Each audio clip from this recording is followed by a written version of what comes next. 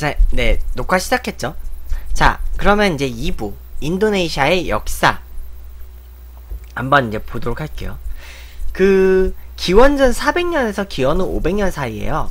이제 자바 해안 지역에서 그런 그 토기를 사용하고 거석 기념물을 남겼던 분위 문화가 있었어요. 이제 그 기후 인도네시아는 그 제가 방금 얘기했듯이 기원후 5, 500년까지 그 토기를 썼다.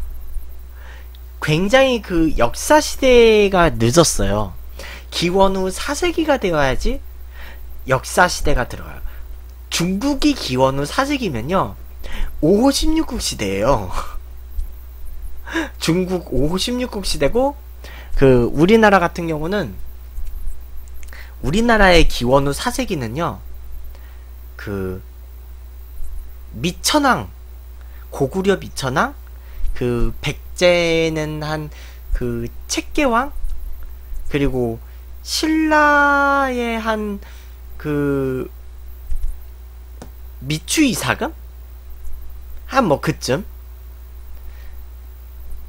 하여간 그때쯤 됐어요. 인도네시아 세계 랭킹 인구 랭킹 지금 지금 현재는 4위예요.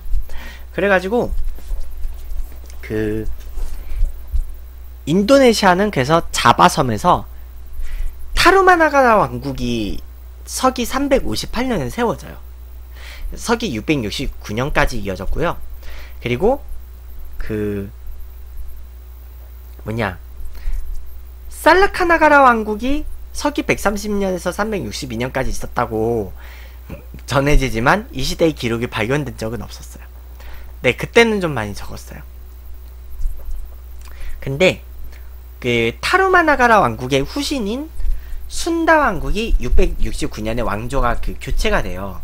그래서 1579년까지 이 순다 왕국이 유지가 되거든요. 그 중세 시대로. 그렇고요. 그 다음에 이제 그 16세기에요. 이제 순다 왕국의 그 사방에서 지방의 신흥 세력들이 그 순다 왕국을 타겟으로 해서 계속 막 왕, 그 다구를 한 거예요. 그래서 마침 이제 말라카를 점령했던 그 포르투갈하고 무역 군사 협정을 맺어요. 1522년에 순다 포르투갈 조약이 체결이 되는데 하지만 포르투갈은 이때 협정의 일부로 순다의 무역항인 순다클라파에다가 요새를 지어주기로 했지만 지켜지지 않았어요. 참고로 순다클라파라는 도시는 현재 인도네시아의 수도인 자카르타예요. 그리고 순다클라파 항구는요. 드막 술탄국의 술탄 트렌가나의 원정으로 점령을 당해버려요. 이슬람 세력한테. 그래서 이슬람 세력에 그 점령을 했고 그 이후로 이제 그 순다 왕국은 내륙에서 더 버틸라고 했다가 1579년에 멸망하게 돼요. 1579년에 멸망을 했고요. 그리고 그 자바섬에선 그랬고요. 그 이제 현재 그 말레이시아 말레이시아가 있는 쪽에서는요. 인도하고의 교류가 활발했어요. 그래서 불교를 받아들여서 기원 후 7세기에 스리비자야 왕국이 그 건국됐는데 이때 이 스리비자야 왕국의 거점은 팔렘방이에요. 음, 팔렘방이고 그리고 그 중개 무역으로 얼마나 번창을 했냐면요. 아랍, 인도, 동남아, 그리고 중국 당나라, 신라까지. 신라하고도 교류를 했어요. 요 스리비자야 왕국은. 신라하고도 교류를 했고요. 중국 남송하고도 교류를 해요. 근데 13세기에 앙코르를 도읍으로 한 캄보디아의 세력이 강대해지면서 이제 쇠퇴하기 시작해요. 그렇고요. 그 1200년대 후반 몽골 제국의 그 세조 원나라 세조가 이제 한창 기세를 올리면서 아시아를 휩쓰고 있을 때 그 뭐냐 쿠빌라이가 이 마자파히 제국을 그 피보호국으로 삼고 조공을 받으려고 군대를 보냈었는데 관리를 보냈었는데 이 마자파이 제국에서는 그 뭐냐 맹기라는 몽골의 그 사신을요 얼 달군 쇠로 얼굴을 지지고 귀를 자르고 쫓아냈어요. 근데 인도네시아에서 체벌 중에 도둑질을 한 범죄자는 귀를 잘랐거든요. 그래서 쿠빌라이 칸은 군사 3만 명의 함선 1천 척이 넘는 대규모 원정을 준비해서 그 대규모 군대를 보내요. 음. 그래서 그 뭐냐 몽골이 이때 쳐들어오니까 이 마자파이 제국에서는 그러니까 이전에 그 싱하사리 왕조를 무너뜨리고자 이 몽골에 협력을 해요. 그래서 몽골의 도움을 받아서 마자파이 제국을 그 1299년에 건국을 하게 되죠. 그렇고요. 그 이때 마자파이 제국은요. 그 뭐냐 이슬람 국가한테 멸망하게 돼요. 그래서 그 이후 수마트라 말레이반도 자바섬 이런 데서는요 강력한 통일 국가가 나오지 못해요. 그리고 이렇게 분열된 상황에서 그 이슬람 세력에 의해서 분열이 됐고 그 포르투갈하고 네덜란드의 그 침략을 받게 되죠. 음.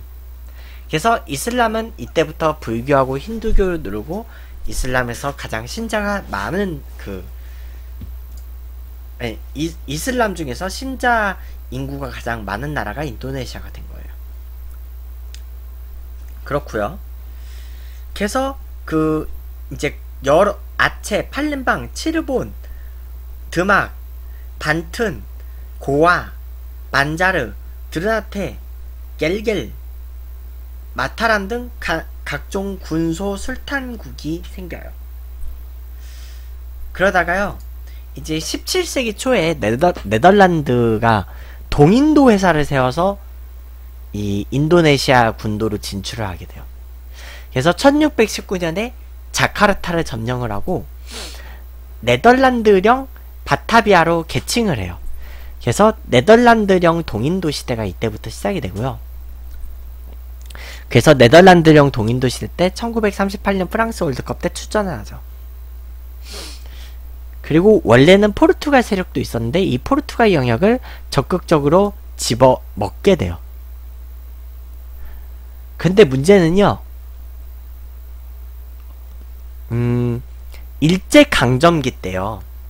일본이 일본이 이제 그 나름 그 만주 사변 일으키고 중일 전쟁 일으키고 그럴 때요. 석유를 공급받기 위해서 이 인도네시아를 침공하게 돼요. 그래서 한때 일본은 인도네시아를 통치를 한 적이 있어요. 자, 그랬는데요. 1945년 8월 일본의 원자폭탄 두 방이 떨어지고 일본은 8월 15일 라디오를 통해서 항복을 발표를 하고 9월에 항복 문서에 조인을 해요. 그러니까 그 인도네시아의 그 저항군 지도자였던 이 수카르노가 인도네시아 공화국의 독립을 선포를 해요. 근데 문제는 이에 네덜란드가 반발을 하고 그 침략 전쟁을 일으키게 돼요. 그래서 인도네시아 독립 전쟁이 일어나고요. 그 이때 영국은요. 원래는 구식민 열강으로서 네덜란드령 동인도의 그 제점령을 지지를 하고 있었어요. 다만 영국은요. 이제 식민지에서의 민주주의하고 식민지인들의 그 권리에 대해서 예전에 비해서는 어느 정도 존중을 하는 입장이었거든요. 그래서 음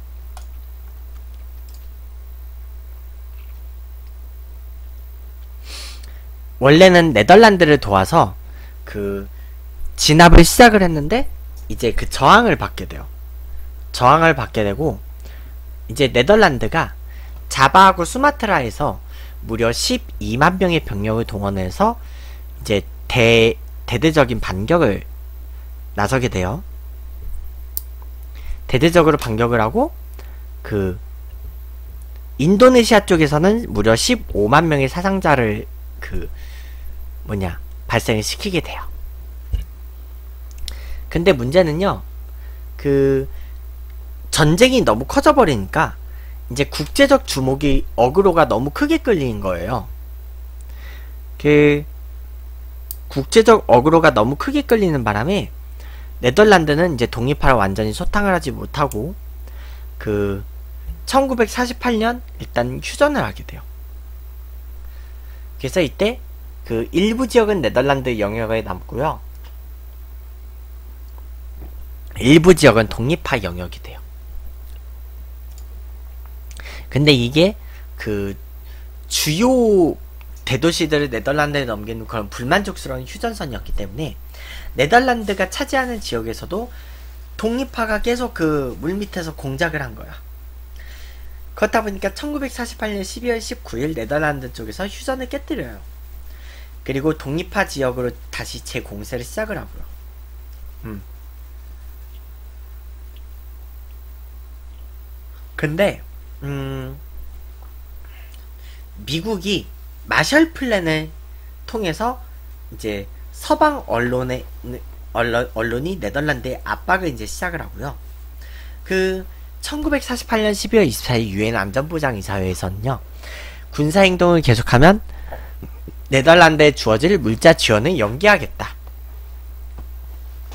그래서 안전보장 이사회가 공식적으로 네덜란드의 적대행위 중지를 요구하고 그 1949년 1월에는 인도네시아 공화국 정부를 다시 세워라 하고 요구를 했었어요.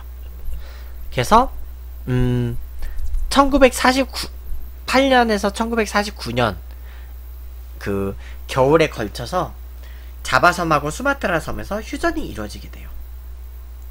음. 그렇고요. 그래서 그 1949년 8월부터 10월까지 헤이그 원탁 회의가 열렸고요. 헤이그에서 원탁 회의가 열렸고 그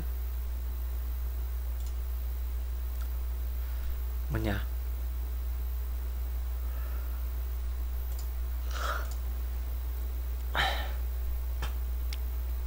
그래서 인도네시아가 수립이 됐어요.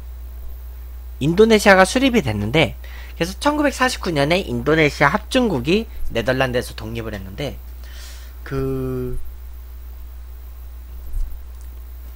뭐냐 구 독립파 지배 지역을 그 비롯해서 자바섬 그리고 수마트라의 대부분 지역 이 정도만 독립파 정부에 그 충실을 했었어요. 그래서 그 이제 뭐냐 인도네시아 합중국은요 그 원래 자치지역들을 연방으로서 성립을 했고 인도네시아 공화국을 제외한 다른 지역에는 네덜란드의 영향력이 좀 컸어요. 근데 네덜란드는 독립전쟁이 끝난 이후에도 이 영, 영향력을 유지하려고 했고요. 그러다 이제 1950년 1월 파순단 자치국이 인도네시아 공화국에 합류하기 시작해서 1950년 8월 15일까지 모든 연방 구성체가 인도네시아 공화국이 합류를 하게 돼요. 그래서 인도네시아 영, 연방 대신 단일 인도네시아 공화국이 출범을 하게 돼요. 음. 근데 이제 네덜란드령 뉴기니의 역사는 한동안은 인도네시아하고는 좀 별개였어요. 근데 이제 음, 네덜란드가 그러다가 서유기니 지역에서도 토착민의 자치권을 인정하고 독립을 지원하게 돼요. 근데 그리고 인도네시아는 서유기니에 대한 영유권 주장을 하고 있었고 그러니까 인도네시아는 소련의 도움을 받아가지고 군비를 증강해서 네덜란드 유엔에 제소를 했어요. 그리고 네덜란드하고 단교를 해요. 사실 그것 때문에 인도네시아는 대한민국보다는 북한하고 먼저 수교를 하게 돼요. 음. 어쨌든 그래서 그 현재는 파푸아주 그래서 처, 서파푸아가 분리가 됐죠. 자, 그래서 이제 독립 이후 인도네시아는요, 그 독립군 지도자였던 수카르노가 대통령이 됐어요. 근데 정치 철학이 좀 혼란스럽고 또 경제 개발이 잘 안 되고 그러니까 국내에서 불만이 퍼지기, 커지기 시작했고 결국 인도네시아는 독재 정치로 들어가게 됐어요. 음. 근데 그 뭐냐 통치 말기에는 그 수카르노가 점점 이 좌파 성향의 그 정치를 하게 된 거예요. 그래서 미국을 불안하게 했고요. 1965년에 인도네시아는 쿠데타를 일으켜가지고 그 수아르토라는 사람이 수카르노를 쭈, 그 축출해요. 그리고 이제 군정을 거쳐서 그 인도네시아의 대통령이 되는데요. 그 인도네시아는 그리고 다음에 이제 1인 독재를 하게 되죠. 1인 독재를 하게 되는데 근데 문제는 1998년인가 그때 다시 그 대선을 치렀는데 또 재선이 된 거예요. 근데 동남아 공산화를 두려워한 서구 국가들의 무기나에 그 수아르토가 100만 명이 넘는 정적들을 학살을 해요. 음. 근데 이제 장기적인 그 독재, 부패, 족별주의는 이 심각한 문제가 좀 생겼고요. 결국 이제 IMF 사태가 일어나면서 1997년에 그 인도네시아 경제가 마비가 돼요. 그래서 이제 국민들 사이에서 저항이 일어나서 1998년에 수아르토 전 대통령은 퇴진하게 돼요. 음.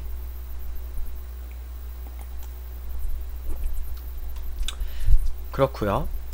그래서 2001년에는 메가위티 수카르노프트리가 대통령이 되고 2011년에는 수실로 반방 유도유노가 대통령이 돼요.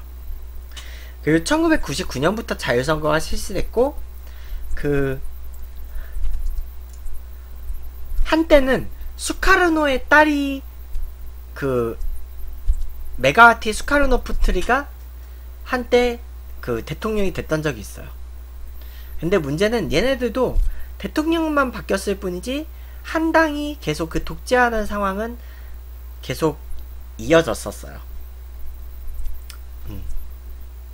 그렇고요. 2014년 7월 22일 인도네시아에선 조코 위도도라는 사람이 대통령이 당선이 돼요. 음. 인도네시아의 민, 민주당이 일정 지지율을 채우지 못하면서 그 대선 참가 자격이 없었거든요. 그래서 인도네시아는 이번에 직선제를 통한 정권 교체는 역대 최초였다고. 음, 그렇다고 해요. 음. 평화적 정권 교체가 이루어졌던 그런 최초의 선거가 2014년 7월 22, 그 7월에 있었던 대통령 선거였어요. 자, 그러면 여기서 저는 녹화 영상을 잠깐 멈추고, 잠깐 저, 저기 에어컨 기계 좀 켜고, 그리고 다음 3부, 루아 커피의 진실. 한번 이야기 해보도록 할게요. 화장실도 좀 갔다 올게요.